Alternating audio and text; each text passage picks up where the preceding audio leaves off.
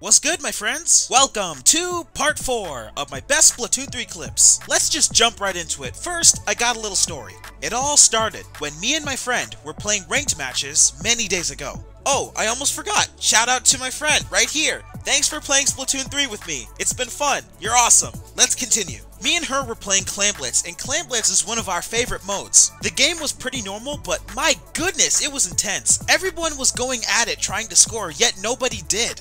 It was like a war zone. And I ain't talking about Call of Duty.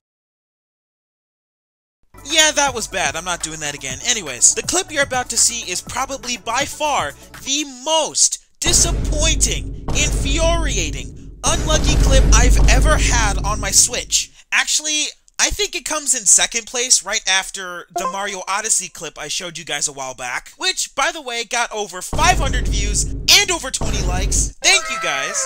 I don't really have a name for it, but we'll just go with whatever the title of the video says, alright? Alright.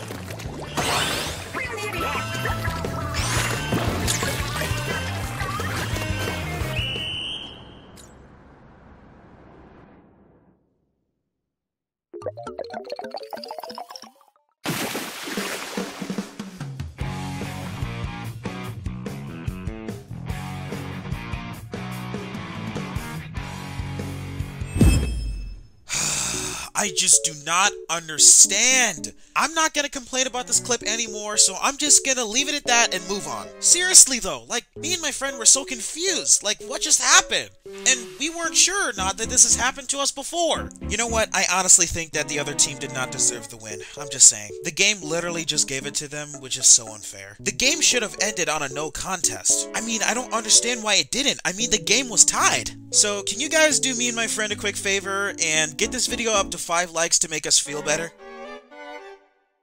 Thank you.